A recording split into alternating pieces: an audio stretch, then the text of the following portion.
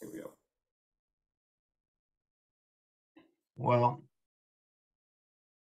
there's there's politics in everything. There's politics in your family, uh, in your profession, in your personal life. And when it came to politics in, in our profession, Dom and I felt the same way about keeping court reporting, court reporting in shorthand and not digital. And Dom and I volunteered many years ago to um, compete against any kind of machine. In those days, it was called ER, electronic recording. And uh, no, nobody ever took us up on it. And we laughed. And the fact that no one accepted the challenge didn't mean that they agreed. It mean that they were afraid. And uh, I recall a real-time session on, for a government in Jer- Jersey City, New Jersey, at the very beginning of real time, which goes back to about 30, 30 years ago for me. And Dom saw the recording, and I had a misstroke. I spit on the floor was a misstroke. I had an H instead of a P. And I figured out then how to get rid of everything on the screen immediately. So I developed a stroke that Dom adopted. And my stroke was new, new page, very fast. And it was defined as 24 lines going up into heaven. The lines went up, and I used that repeatedly, repeatedly. I don't know if my daughter Lauren is still online, but I taught her something when, when she was trained under me. I'm here, Dad. Hi, Lauren. Hi. And you know what I'm going to say? The word was supercalifragilisticexpialidocious. And I taught Lauren how to write it supercalcal. It comes up. I've used it a couple of times. I, I did too. Lauren used it when I we had a comedian. I had the same comedian, and I was writing.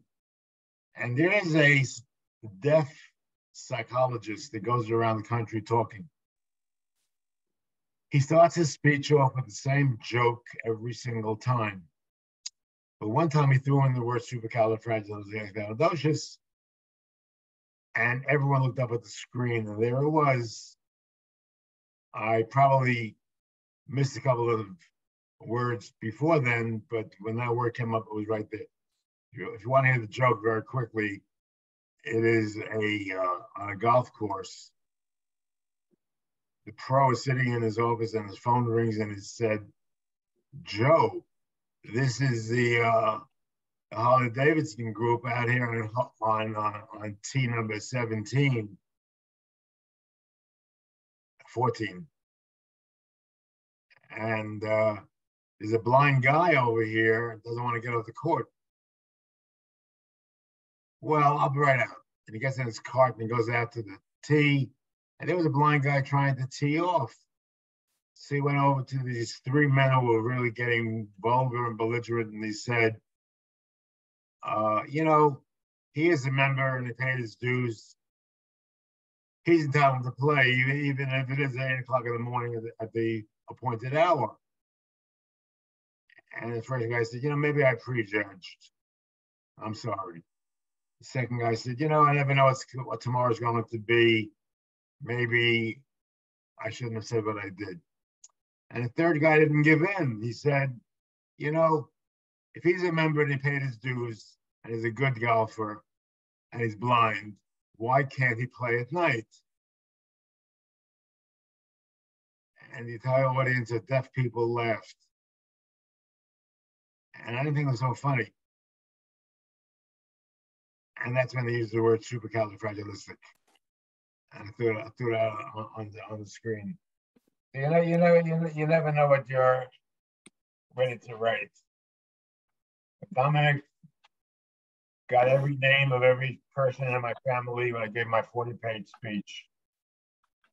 And uh, Dominic, if you're listening, I apologize. I apologize for, for reading so fast. Melanie, I see you're around.